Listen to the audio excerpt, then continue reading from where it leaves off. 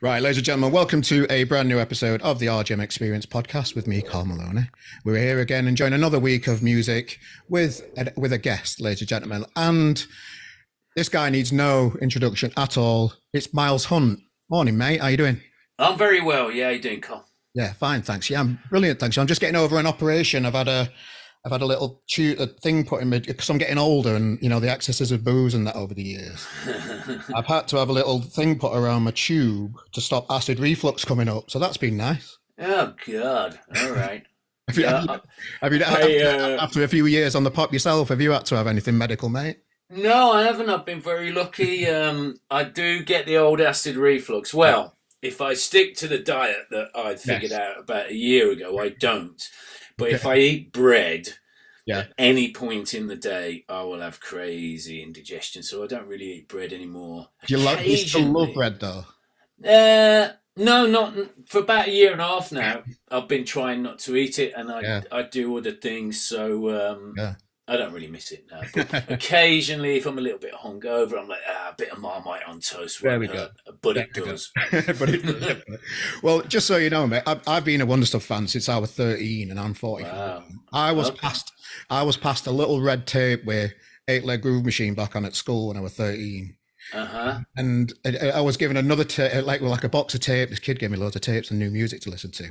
I had you, I had the wedding present on that I'm interviewing later this week as well. So this week's, it's kind of, uh, I'm kind of like impressed with myself that I'm speaking to you guys uh, Yeah, and you're joining me on the podcast. So you're very much welcome uh, to the RGM family, and we appreciate your time, mate. I just wanted to start off with that. Ah, cool. Yeah, my pleasure. Well, you know, my first experience of the band was, you know, the, big gigs that you had back in in- back in the nineties. So the Bescot Stadium, Phoenix Festival. hmm How how how would you look back on those times now when you, you know, now thirty odd years have passed and you. Well, it's it's funny now because both of those uh, gigs that you mentioned, Phoenix and Bescot, of course, were filmed, Mm. and so really my memory of them is affected by the fact that, of course, the the, the moments themselves only lasted ninety minutes, Yeah. um, and so my actual memories have completely faded. I, it's it's quite weird if I see any of that footage. You know, people put those things up on social media, and it's for me, it's like looking at somebody else. It, it's not Mm. like I'm looking at me. Um, and so I see them now from the perspective of having seen them filmed. Really, I, I don't really remember much of them at all. you know, like those big iconic stadiums have stuck with me throughout my life. And I can remember during the Phoenix Festival, you announced that this is going to be the Wonder Stuff's last ever gig back in 1994 at the time. Yeah, well, that wasn't our idea because we knew we, we'd split up. Yeah. Um, we split up in the middle of the construction for the Modern Idiot tour, Mm. so the year before. Um, so we knew we were done. Um, and what we thought was the most sensible thing to do was not say that our friends knew, Mm. Uh, record company knew. Um, but, you, you know, we'd seen so many other bands split up and reform. We just thought we won't, we won't announce it. But then the Phoenix Festival itself, the tickets weren't going that great. Mm. And word had got around, so our agent knew, our managers knew. And so Vince Power, who was the promoter on Phoenix, um, he very politely asked, you know, look, this would really help the festival out.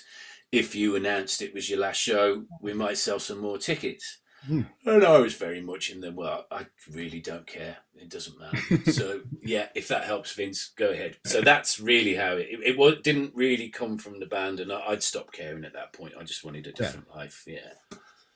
Yeah. Uh, so, you know, just looking back over the times and everything and wondering, um, you know, what, what's ahead for you at that point is it it feels like you're kind of at that kind of place in your life now with music. Uh, yeah, I suppose I am. Yeah, for the second time, I want to make some changes. Yeah. Um, I think back then, I I knew that I, I still wanted to pursue music in one form or another. Whether I would go into production, whether I would form another band, uh, I sort of did both. Um, but straight away after Phoenix, I'd been offered a job at um, MTV Europe, I was going to say, yeah, because you, you turned up on MTV with no hair, and everybody's like, yeah, double taking. Is that is that really Miles Hunt? Yeah, it is. Yeah, it's, yeah. So I knew the people there quite well because I lived around the corner from the office Mm. and the studios, and I'd been in the, the MTV Europe had been incredibly supportive on, particularly on the fourth Wonder Stuff album, Construction. So I seemed like I was in there all the time anyway. And Paul King, uh, he resigned from the 120 minutes job to go over to VH1. And Catalina, the producer, who I'd sort of got a little bit friendly with, she said, Would you be interested? And at first, it wasn't anything I was interested in, but I was like, ah, okay, I'll go for a. I won't get the job. I'll I'll, go for the screen test, and and they offered it me like a few days later, and I'm like, oh shit! So it's a, a real butterfly in the stomach moment, which I thought was healthy because I never. I used to get anxious about going on stage with the Wonder Stuff. I still do, but I'm not nervous. Like I'm I'm not in fear that something is going to go wrong. Mm. Because I completely trusted in the other members of the band. I thought I, I always thought we were well rehearsed enough to have the audacity to go on stage. uh, so I was never nervous, but there was a certain anxiety that, that would come with it. Um, but once I started thinking, am I really going to do this MTV job? I actually got very, very nervous about it. And I thought, well, I think that's a good thing. I think that's good for me. Um, so, so let's plow ahead. So I did it. Um, I really enjoyed uh, working with the people at MTV. I never ever got comfortable in front of the camera. I, I was hoping I would, it, but I did it for over a year and I never did. I, I, that nervousness always stayed there. And once I'm in a nervous state of mind, I can't I can't hold on to information. So if I'm um, interviewing a, a band or an artist, um, particularly if it's a band and an art, if it's a band and an artist that I love, Mm. the information stays in there. Yeah. But if it's well, in the case of point of things like I know Elastica, and I, I just you know I. I I've got a terrible story about my Elastica interview. I fell asleep during the Yeah. interview. Go on, I let's really- back. Let's get into this one. Absolutely true. And poor Justine Frischmann is horrified. I- mean, I was incredibly hungover. and I just had no interest in the band. There was nothing about them Yeah. that I thought was remotely interesting. And, and so she's answering one of my piss poor questions, and I nodded off. So that wasn't good. Um, and I suppose I was always nervous of, you know, I'd been in a band, so I knew what a gang mentality was to deal with, and I was very much on my own. Um, so yeah, I, ne- I never got. I'm actually feeling quite jittery about even thinking about it. But Oh, um, yeah. so yeah, I um, I was disappointed that I didn't take to it better. They, they wanted me to stay, Yeah. and they were pleased with me. Uh, but yeah, I couldn't. I, I just thought I can't live like this. I'm a fucking nervous wreck all the time.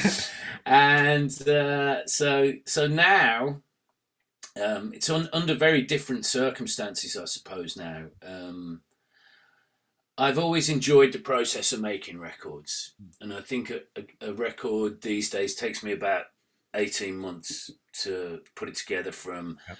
writing an initial bunch of ideas. Uh, asking various musicians that I know, be them members of the Wonder Stuff or other friends, if if they would chip in, have got any ideas. I like working with producers, um, you know, trying out different things, kicking ideas Mm. around, and but it takes a long time, and it and it ends up costing way more money than you try. I mean, the last Wonder Stuff album cost us like I think it was about forty five grand Wow. to make it, and you're like, how how is it this? And you're like, oh yeah. One of them lives in Paris. One of them lives in Los Angeles. We're in the studio for God knows how many weeks. Yeah. So you pay the producer, the engineer, and it adds up, and you've got a accommodation for everybody. So this one, I thought, well, I ain't going to do that. And and so the, the very disappointing thing nowadays is is spending this sort of money on records is you can't get it back. Mm. Uh, people don't buy physical formats in the way that they used to. So I'm very much against streaming or the the current um, the way it currently works. That seems that the record labels are fine because they just go for quantity over quality. So as long as they're just throwing loads of shit out there, whether it's new artists or or back catalogs, they're still earning. Spotify, of course, take the biggest chunk. Um, and the artists who are actually providing the content, uh, writers and musicians, we've been sold down the river by our publishers, by major record labels. No one stood up for the artists, and um, I just I can't, uh, in all good conscience, um, I just can't join in with it. So knowing how, so this record's cost me about nine or ten grand. I've Yeah. pulled a lot, lot of favors on this solo album, so I managed to keep it way down. So just but it's but it's unlikely I'll get that back because people. I mean, I won't put it on a streaming service. Maybe in a, a year or two's time, I might. Uh, so we make physical vinyl and C- CDs to hopefully get some of that back. yeah. Um, but um, you know, I- it just I was- I was remains to be speaking seen to- whether we sell all that. We'll sell all of those.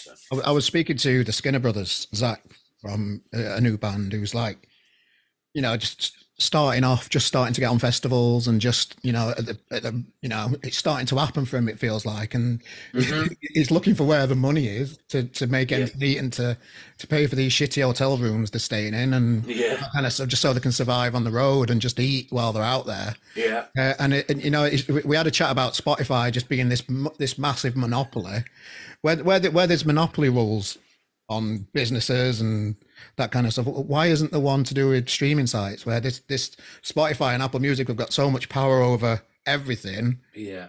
It's not right, is it? Well, and they don't create any content. You know, I mean, Mm. that's that's what I find fascinating. But Yeah. it's it, to, to me, from the way I understood it, that it happened, it's entirely in the hands of the publishers and, and the record labels that, that were around Yeah. to allow.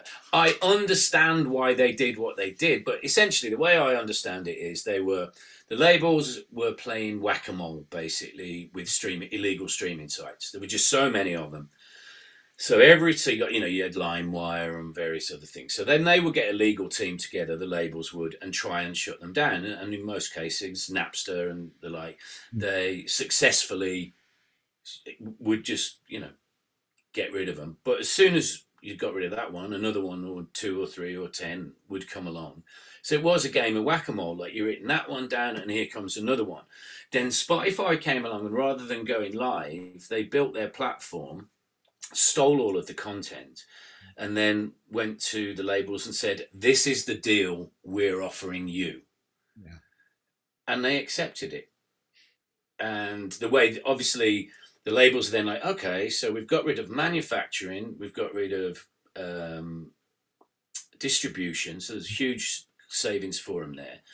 And if we just buy up catalogs that become available and sign new artists for pennies, I mean, I, I know young new bands that have signed to huge names in the music business, you know, EMI and, and, and the likes. Uh, but they they all have to have a, a day job. The bands all still have to have a day job. I mean, we were lucky enough to come from an era where they, a label, Polydor in our case, would give you enough money to come off the dole or give up your job and concentrate entirely on the band and gig your asses off and write as much as you could.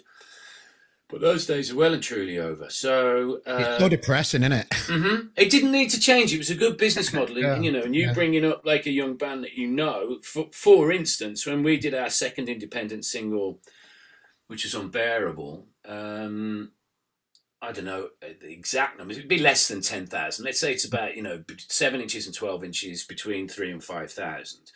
So you give those to a distributor, and within a month, we got enough money coming back from that to buy a van Hmm. which meant we were making savings on not hiring vans so we could tour all the time and you know you could become self-sufficient um, in that manner i mean there's, arguably there's still ways of doing it now um, pressing up those things and selling them independently but the outlets are very small uh, and then bizarrely the other thing that's grown is you know it used to be two or three monthly magazines and two or three weekly uh, music papers and those are your outlets. Well, there's fucking billions of them now. so, yeah. It, how do you know if the NME gave you a great review, that had a serious effect on you? Well, now there are no sort of market leaders in that way, which in many ways is good, but there's no f- focal point for people to go to and go, okay, what's the great record out this week? Well, you make your choices, don't you? It could be your podcast, it could be somebody else's. Yeah. But, um, so We, we, we try and model ourselves on like Louder Than War, and yeah, a lot of friends over at Louder Than War that we try and emulate RGM to be something like a bit punk and a bit, you know, trying to have a voice and try and help as many people along the way. Um, it's just, that's kind of where we sit with it, really. And and we- yeah. we, we try and not give and to say everything's great in the world when it's not. We try and be honest. Mm-hmm. Even people that are starting off that don't like that, they're not used to that. Yeah. When, when they get a review, it's the friends telling them they're great. Where we'll we'll be independent about it and tell them, look, lads, you can do better here. Type thing. Yeah, yeah, yeah, yeah. I mean, like I say, there's lots of good things about it, but essentially, digitization and the internet killed Yes. what was what was a great business model. Yeah. It worked, and I just think you know it's an obvious one for the tech giants to get in on and just nick stuff and, and destroy a great little industry with zero passion Hmm. for music or, or people's talent. And it's just a passion for making money. And of course, three minutes of music that you can stream very easily rather than streaming a movie it was an easy thing for them to do and they just they just raped the industry and never really gave a thought to who creates the content. Yeah, well, that, that's the bit that uh, boils my piss. So um, so my choice to sort of knock it on the head um, is very different uh, you know it's for very different reasons than I did in the mid 90s um, yeah so I'm, I'm not going reasons, to what was the reasons in the mid nineties? I didn't like the success. Fair enough. we were we were too successful. We were too busy. We were too much in uh, each other's company. Yeah. Uh, and I just wanted what we should have done. Perhaps is it was offered to us from Polydor. They said, you know, we'll, we'll give you an amount of money to take an, an absolute year off. Hmm. So don't go to rehearsals. Don't write. Don't demo. Don't gig. Uh, and and then let's um, let's reconvene in a year. But I didn't like that idea because I knew that I would constantly be. My life hasn't really changed; it's just paused for a bit. Yeah. Uh, so I, I refused that very kind offer because they'd done that with various other Polydor artists. I think the boss told me they'd done that with the Cure when when they weren't particularly happy. It was like have a year off kind of thing. But anyway, we didn't we didn't make that choice. So Yeah. um, and the band just got. I don't care about the fucking music industry, in, in you know, in so much as I don't, I don't care about competing. Yeah. Uh, and and when you got to the level that we were at, I mean, we far from broke America, but we toured there a lot, and we had a decent relationship with the label. But of course, they would be looking at things like U2, INXS, and going to us, well, this could be you, you know, if you really knuckle down. And, and I'm like, it's not an aspiration I have. I, to, to me, their lives are ruined by their success. I would hate to be the guy that can't walk down the street.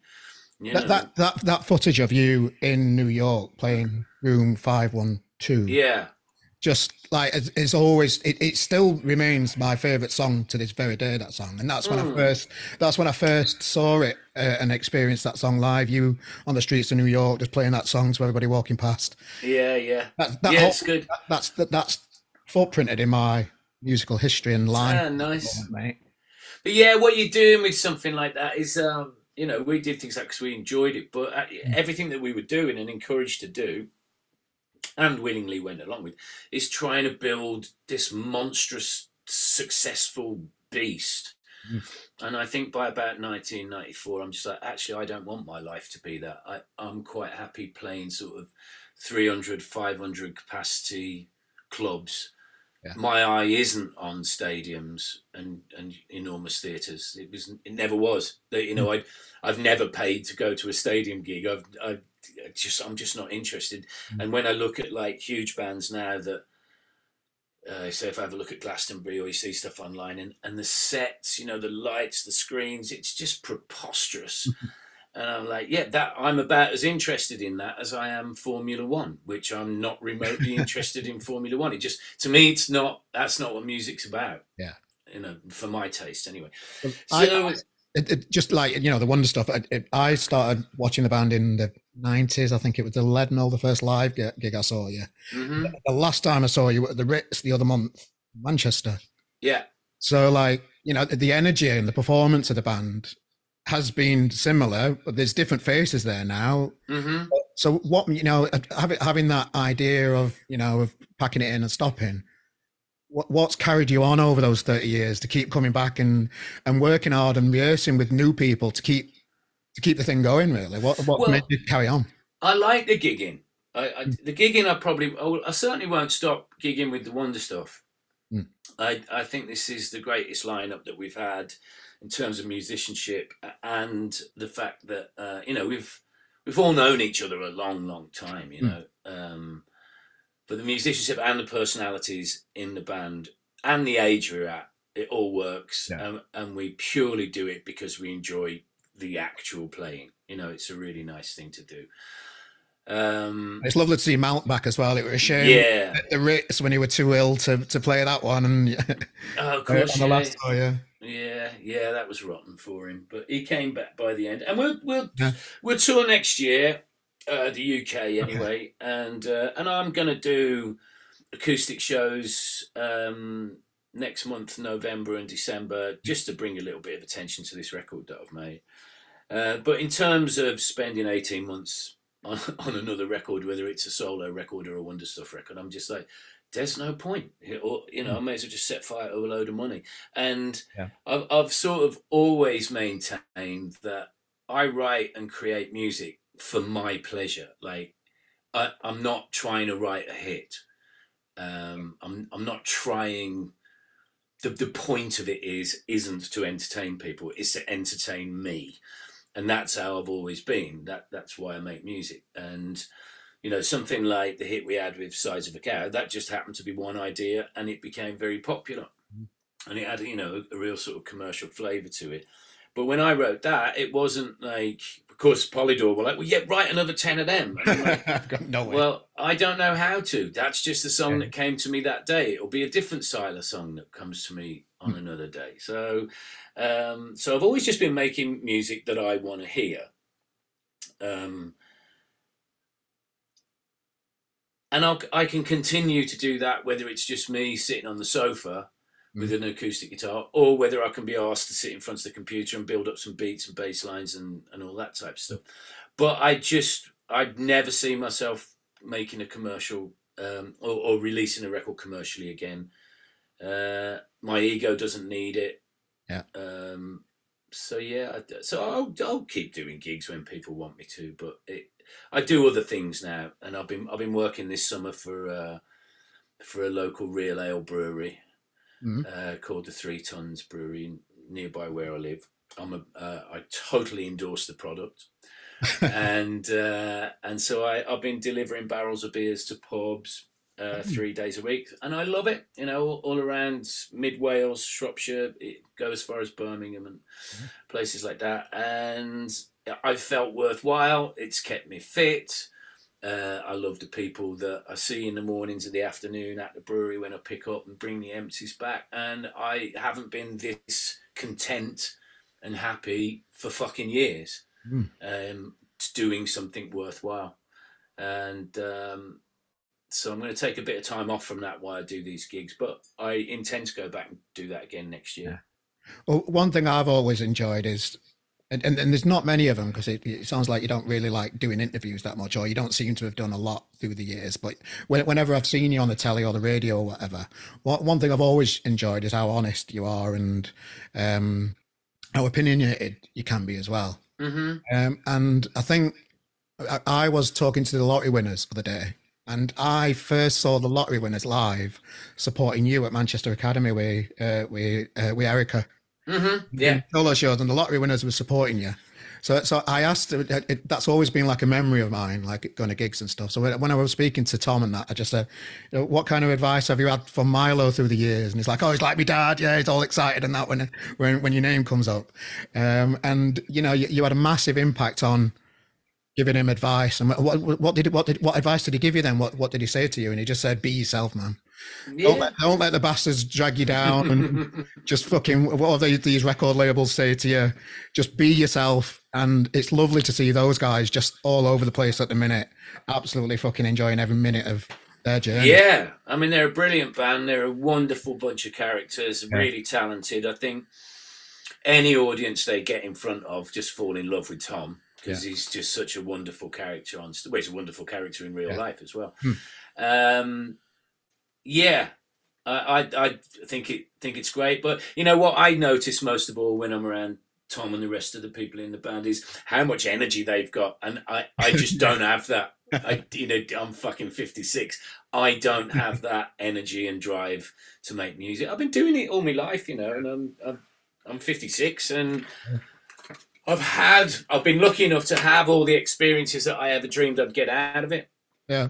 Um, and then I don't feel it's not in me that like I need it, that I need to keep doing it. I do, I, like I say, that, that Wonder Stuff tour in June, other than Malc being ill for three or four mm. of the shows, um, brilliant. I love every second of it. I love being with the band. I, I love being on a tour bus. I love being in front of the audiences. I feel very comfortable. But if it all had to go away tomorrow, it wouldn't break my heart. It's like, Christ, I've had four yeah. decades out of this. So, do you, do you feel jaded of, of no. up through it now? No, no, not at all. I, I feel very fortunate. I suppose it, it, hmm. would be the word if I was to review it all. I'm yeah. incredibly fortunate to to have done it. Um, uh, I, kind of the think, holy grail to make a career out of the music industry, and it to, to have gone through it. There's not many people like yourself that have survived the journey. Well, yeah, there's, there's a lot of a lot of luck involved, a lot of support, uh, and particularly, you know, it's amazing the support that the Wonder Stuff managed to get with a singer like a Mouth you know, with a mouth like mine, you know, I mm. just, uh, if you ask me, like you said earlier, if you ask me a question, I'll give you my honest answer. I'm, I'm not trying to hoodwink any, anybody about anything. So, uh, we did. We uh, there's, there's, still people in the industry that are uh, that are powerful that would go out of their way not to do the wonder stuff a favor because of things I've said in the past. But you know, like I said, I'm not a businessman. I was never trying to forge a career. Yep. I didn't have my eye on the prize. It's all very much about what are we doing right now, and uh, yeah, I, have had a good time. Yeah. Yeah, man, and, you, have been really prolific through the years. You know, all the books that you know that, that are all on sale now that I've been flicking through. Yeah, yeah. I've got I've got all three of them. Cool. Yeah, I enjoyed doing that. Just yeah, they, they were just great, and they must have took up a, a bit of time uh, as well in between records and stuff. I think they took about a year to write all three. Yeah. Uh, but I thoroughly enjoyed it, and that was a sort of another experiment. It wasn't just about telling the story of the wonder stuff. There was another purpose to me writing those because I, you know, I was kicked out of school when I was fifteen, didn't go to college or university. I've never had a steady job and a boss, and so I thought, why don't I try and write something You're a storyteller. It should come naturally, shouldn't it? Does it feel like it should come naturally to you? Or yeah, but it, it was about. I didn't know whether I had the discipline to sit mm. down from sort of nine till five every day, yeah, and stay on top of a project like that. You know, music's pretty easy because I'm always working with somebody else, so you can walk away from it for a little a little while while somebody else adds their fabulous ideas to it. But actually sitting down and writing was a very um, singular uh, and sort of lonely thing.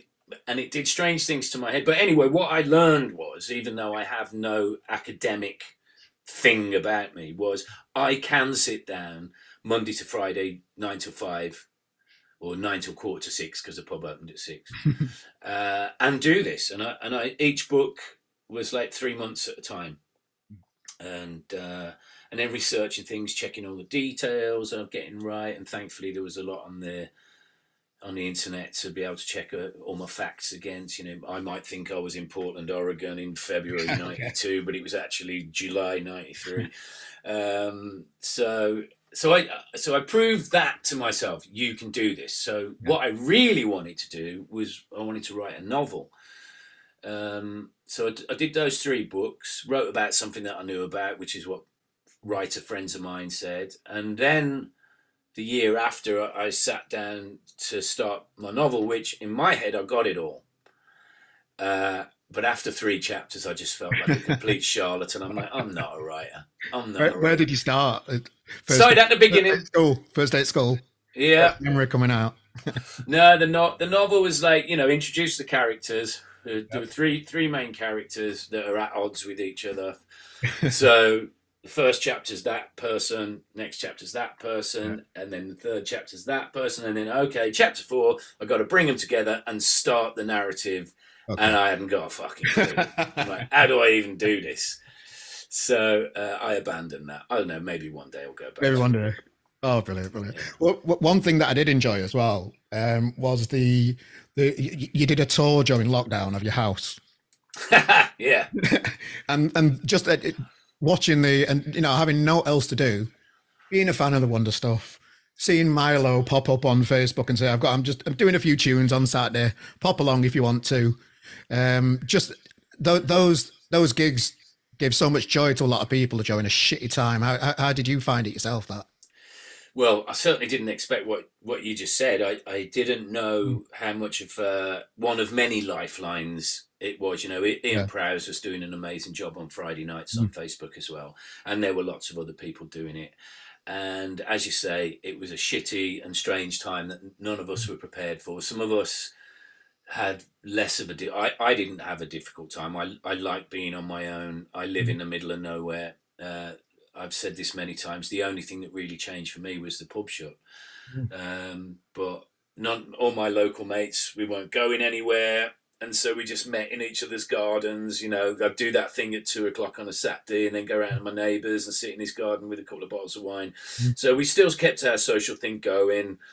Um, so mental health wise, I was fine. Uh, it didn't interfere with any kind of work for me. And then doing those things from the couch or from the kitchen or from a little mm. studio room, um, and then realizing Jesus Christ, there's like I don't know, a thousand people mm. watching this. So I I got all of that connection. Nothing like that was taken away from me.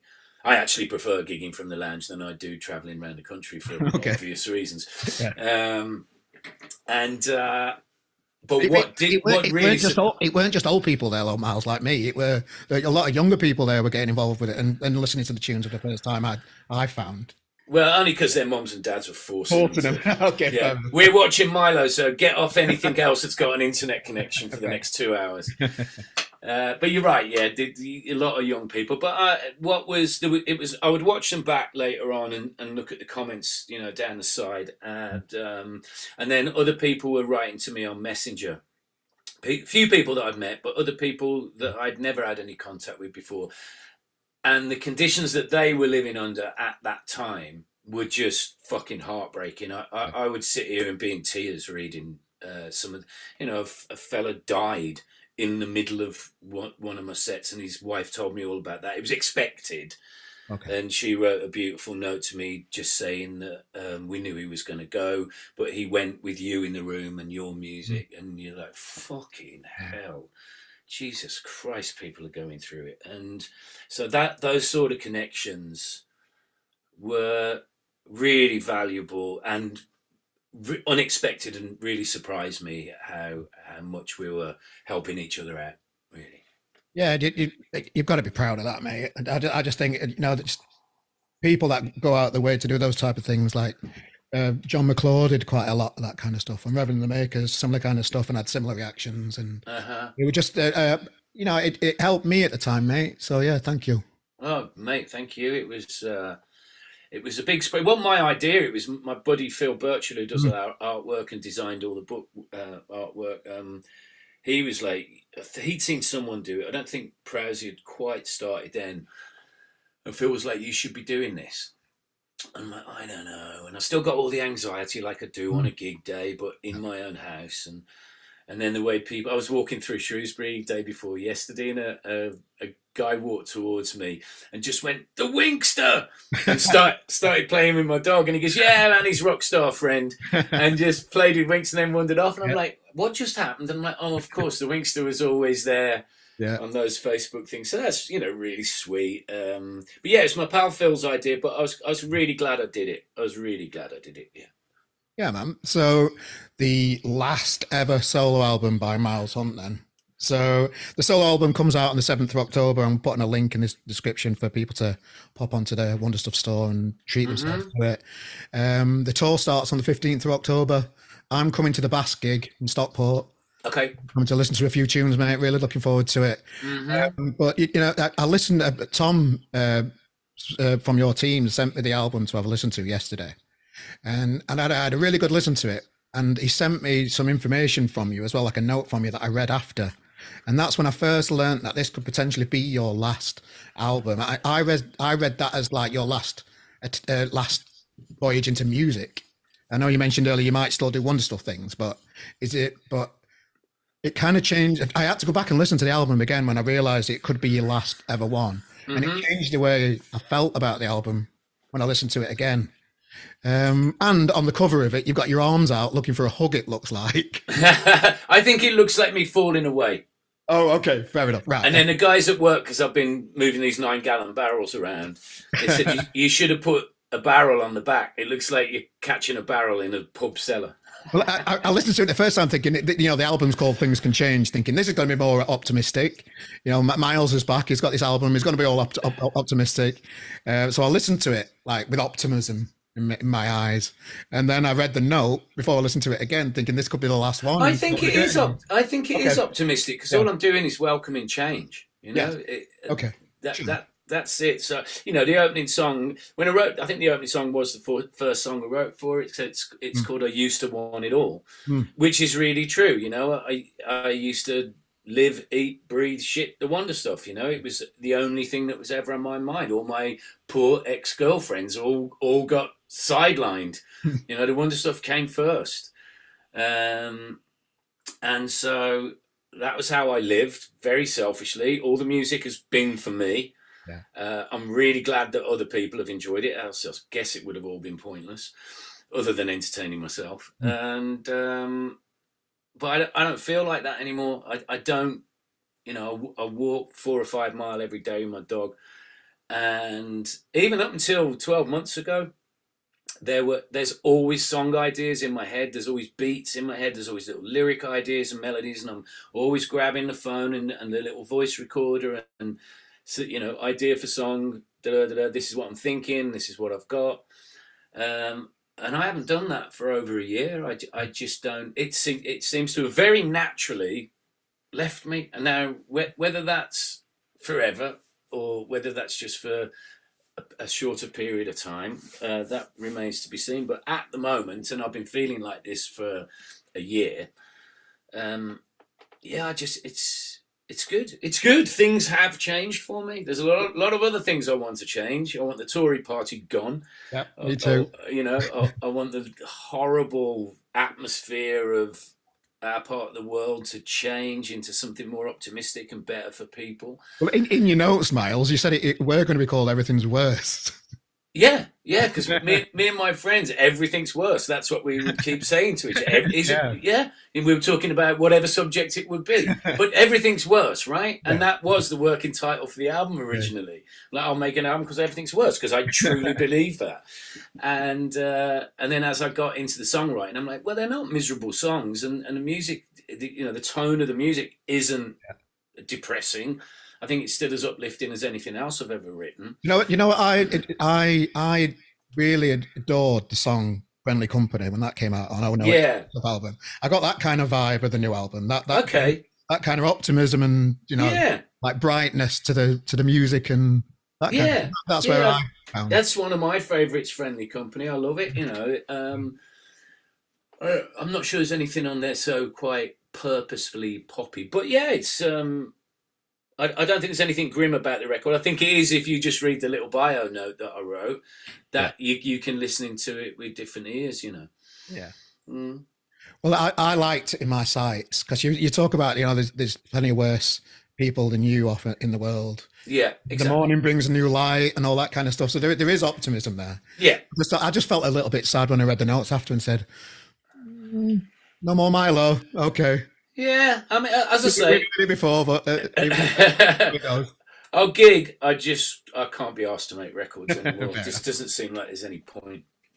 Well, whichever way you go with your decision, mate, it's always it's been a pleasure to have your music in my life throughout my you know 40 odd years on this planet.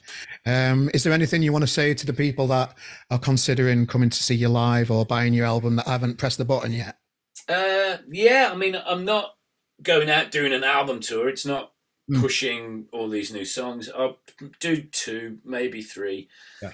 uh, from the new album. But like the little set list idea I've got at the minute starts with Unbearable and A Wish Away. And uh, I just take people through a, a little walk down memory lane of songs yeah. from the last 30 or 40 years.